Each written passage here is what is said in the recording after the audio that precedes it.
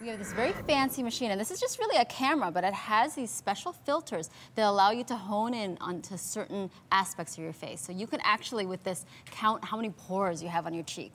Or you Wow. can see the wrinkles. Of course, it'll trace out every wrinkle you have, or trace out the sunspots you have, the sun damage, that kind of fun stuff, that things that you might want to know, but not really not, wa- not want to know. You know? so we have a wonderful guest. A very brave actually. audience member who was not afraid to find out. Amy is in our audience. Amy, come on up here.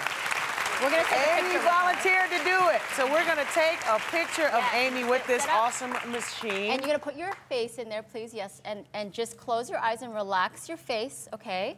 This is actually her photo, well, the one we just taken. Thank you, Amy. Thank wanna- you, Amy.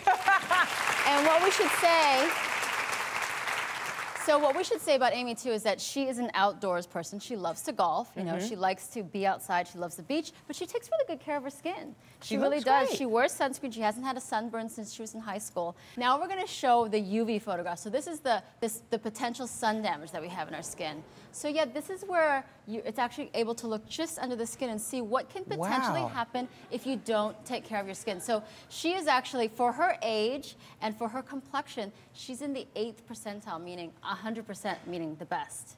So Oh, wow. this does not mean that this is going to happen to you at all, but this is actually a motivator because you're going to think, you know, if I work now, I can reverse this or I can protect myself from becoming like this. so when you say potential, what is it possibly, what is it showing you? How- it's actually showing the you seeing? potential sun damage in your skin. Right, it's actually able to um, re- read right below the skin, so it can see where the pigmentation lies.